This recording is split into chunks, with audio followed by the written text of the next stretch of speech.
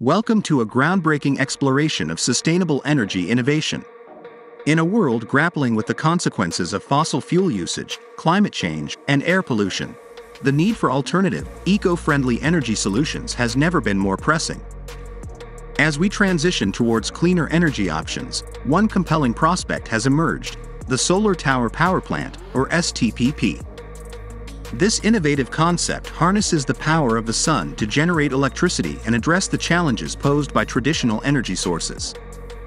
The journey of the STPP began in 1982 in Spain, with the construction of the first prototype. The system operates by heating air in a collector, creating an updraft in the tower that drives a turbine, generating mechanical energy. Over the years, researchers have strived to optimize the STPP considering factors like tower height, diameter, and collector area. Yet, challenges persist. The STPP's thermal efficiency, land requirement, and cost remain concerns.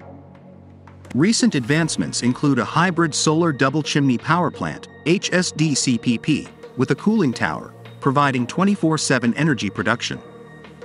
Machine learning is even employed to optimize the HSD-CPP's mode of operation, combining efficiency and adaptability.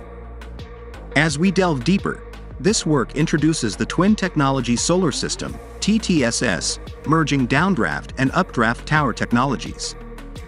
The TTSS aims to enhance electricity production efficiency and reduce costs compared to traditional solar updraft systems.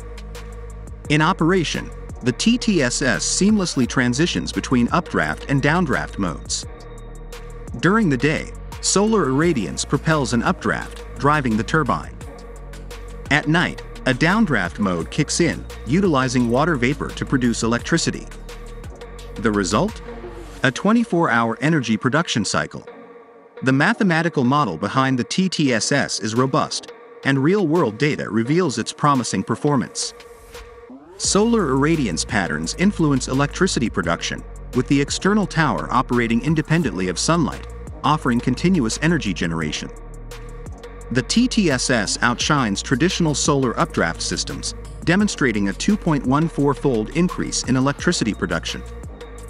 Its adaptability to various weather conditions makes it a potential game changer for regions with hot and dry climates.